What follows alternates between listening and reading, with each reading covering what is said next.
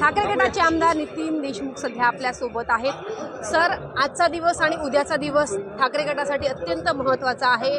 आणि टायमिंग साधून आज मनीषा कायंदेताई शिंदे गटात प्रवेश करणार आहे. खरं तर कसं पाहता याकडे? कारण मोठा धक्का मानला जातोय निवडणुकीच्या पार्श्वभूमीवरती. मोठा धक्का वगैरे काही नाही. ॲक्च्युली मनीषाताई ह्या विधान परिषदचे आमदार आहे त्यांचं वैयक्तिक काही अस्तित्व नाही आहे आणि त्यांचा कार्यकाल मला वाटतं जवळपास एक वर्ष राहिला त्यांचा कार्यपाल राहिला.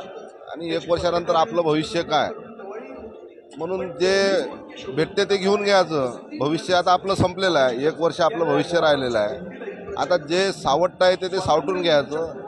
शेवट शेवट चांगला गोड करायचा अशी त्यांची भूमिका दिसते. नक्कीच सर. कित्येक दिवसापासून त्या सोशल मीडियाच्या माध्यमातून पत्रकार परिषदेच्या माध्यमातून ठाकरे गटाची आक्रमक भूमिका मांडत होत्या. मात्र अचानकपणे त्यांनी हे निर्णय घेतलेला आहे. तर काहीतरी दबाव आहे असं वाटतंय का?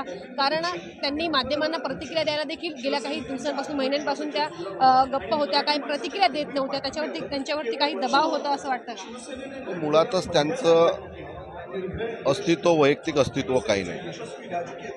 त्या मूळ शिवसैनिकच नव्हत्या. मला वाटते त्या भाजपमधून सेनेमध्ये आलेल्या होत्या. मूळ ते शिवसैनिकच नाही आहेत.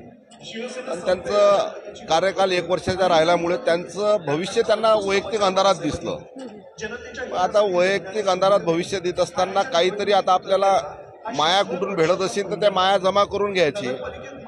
तसंही राजकीय अस्तित्व आपलं संपुष्टात आलेलं आहे. म्हणून जे भेटते ते घेऊन घ्यायचं अशी भूमिका त्यांनी घेतलेली मला वाटते. आज शिबिर पार पडत आहे. प्रमुख नेते मार्गदर्शन करताना पाहायला मिळत आहे. उद्या वर्धापन दिन साजरा केला जाणार आहे. शिंदे गटाकडून देखील वर्धापन दिन साजरा केला जाणार आहे. कसं पाहतो? हो, तो त्यांचा वर्धापन असते. हे खरे शिवसेना बाळासाहेबांचे ही क्षण आहे. तो गद्दारांचा वर्धापन दिन आहे. शिवसेनेचा वर्धा दिन हा आहे. तर नक्कीच सर आता अ, मार्गदर्शन केलं जात आहे. संघटना अ, कशा पद्धतीने आपण वाढवू शकतो? स्थानिक पातळीवरती आपण कशा पद्धतीने काम करू शकतो? यावरती मार्गदर्शन केलं जात आहे. वेगवेगळे मुद्दे मांड अ, मांडले जात आहेत आपापल्या भाषणातून. अ, नक्कीच अ, तरी याचा प्रभाव कशा प्रकारे पडू शकतो? कारण निवडणुकांचा आता हा पुढचे जे दोन वर्ष आहेत ते निवडणुकींचे वर्ष आहेत. कसं पाहता तुम्हाला सांगतो महाराष्ट्र फक्त निवडणुकीची वाट पाहू राहिला हा महाराष्ट्रातला जो मराठी माणूस आहे हा मराठी माणूस इथला असलेला हिंदुत्वाचा विचाराचा माणूस हा खंबीरपणे उद्धव साहेबांच्या पाठीशी उभा आहे. तुम्ही पहा ना आज त्या शिंदे गटाचे जे बॅनर दिसतात मला सांगावं हो. बाळासाहेबांचा फोटो त्याच्यावर शिंदे साहेबांचा फोटो आदित्य साहेबांचा आपला सॉरी एकनाथ शिंदेजी साहेबांचा फोटो म्हणजे बाळासाहेबांचे विचार बाळासाहेबांच्या पुत्रांनी घेतले एकनाथ शिंदेजींनी घेतले. आनंद दिघेंचे विचार त्यांच्या पुतण्याने नाही घेतले शिंदे साहेबांनी घेतले.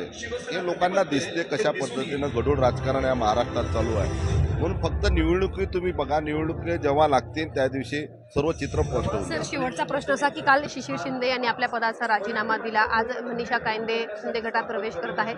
याचा कुठेतरी प्रभाव पडत नाही का? की कारण कार्यकर्ते अशा प्र- प्रकारे बघतात की आता एक एक करून आपले नेते जात आहेत. तर त्यांच्यावरती देखील एक वेगळा प्रभाव पडतो. तर यावरती उपाय म्हणून काय तुम्ही सुचवणार आणि कशा प्रकारे त्यांना मार्गदर्शन करणार? मला तर शिशिर शिंदे साहेबांनी राजीनामा दिला आहे की मला अजून अद्याप त्याच्याबद्दल माहिती नाही.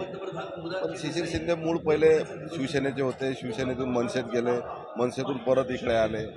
काही काही फरक पडला नक्कीच तर जरी कितीही नेते ठाकरे गटाच्या बाहेर पडले तरीही काहीही याचा अ, परिणाम होणार नाही अशी प्रतिक्रिया ठाकरेंच्या आमदाराने दिली आहे.